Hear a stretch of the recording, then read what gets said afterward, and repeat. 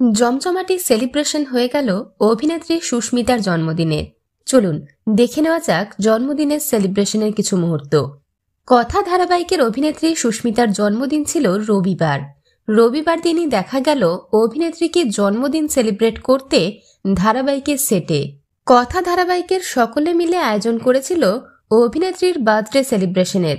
দেখা গেছে সকলের সঙ্গে মজা করে কেক কাটতে অভিনেত্রীকে। সেটে সুস্মিতার জন্মদিন সেলিব্রেশন করতে উপস্থিত ছিলেন কথা ধারাবাহিকের অভিনেতা, অভিনেত্রী এবং কলাকুশলীরা। তবে জন্মদিনের সেলিব্রেশন কিন্তু এখানেই থেমে থাকেনি। শুটিং সেরে বাড়ি পৌঁছতেই সেলিব্রেশন হলো পরিবারের তরফ থেকে।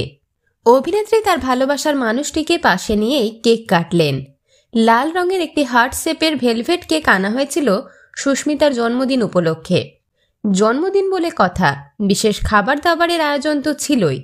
তাই তো দেখা গেল, অভিনেত্রীকে বসিয়ে বিভিন্ন রকমের খাবার সাজিয়ে দেওয়া হয় জন্মদিনের ডিনারে। হই হুল্লোড় করে জন্মদিন সেলিব্রেশনের পাশাপাশি অভিনেত্রী সুস্মিতাকে দেখা গিয়েছে সবাইকে ধন্যবাদ জানাতে এত ভালোবাসা এবং জন্মদিনের এত শুভেচ্ছা দেওয়ার জন্য।